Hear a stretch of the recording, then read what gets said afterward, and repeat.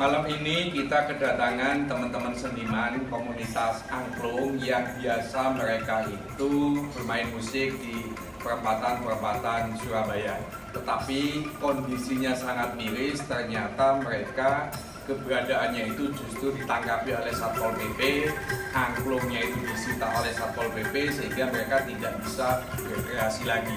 Nah saya sebagai pengacara, ini ada Cak Taufik sebagai budayawan, mengadvokasi teman-teman apa pun kondisinya tidak boleh komunitas angklung ini dilarang berkreasi. Bagi kami mereka punya hak hidup di Surabaya, mereka tidak nyolong, mereka tidak ngompas, mereka tidak malak, maka keberadaan ini harus diakui sebagai bagian dari kebudayaan di Surabaya. Yang kedua, mereka sepakat saya kebetulan sebagai lawyer ini diangkat atau ditetapkan menjadi kuasa hukum teman-teman ini sehingga kalau mereka ke depannya ini ada persoalan hukum dengan teman-teman Satpol PP kami siap melakukan advokasi.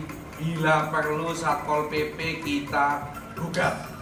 Yang penting teman-teman komitmen tidak melakukan pemaksaan pada saat bermain musik angklung itu maka ini harus kita lindungi